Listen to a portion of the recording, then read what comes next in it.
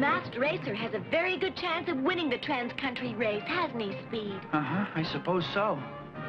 But would he really win? What are you hinting?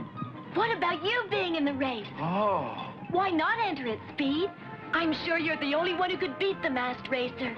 maybe I am, but maybe I'm not.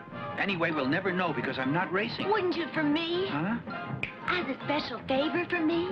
Oh, but it'll make my father angry, Trixie. If I know him, he'll calm down once he sees you're going to win.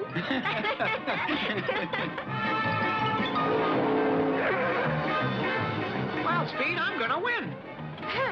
I just signed up with Mr. Fixer, the Alpha Racing team. We have more spirit and the fastest car, so how can we lose? We're gonna beat the masked racer. We're gonna win the big race.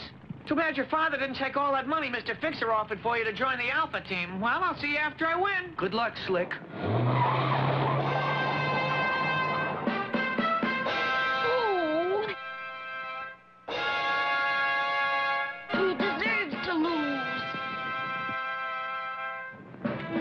For the world of sports. The famous trans-country auto race will be starting very soon.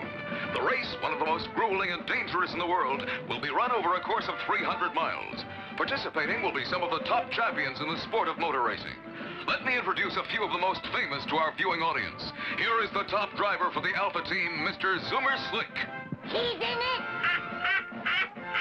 And this is Driver X, known throughout the world as the Masked Racer. He has been known to bring bad luck to many races. He may be known to bring bad luck to races, but he's one of the best drivers I've ever seen. In addition to the Masked Racer, one of the top contenders and a last-minute entry is a newcomer, Speed Racer. Huh? Speed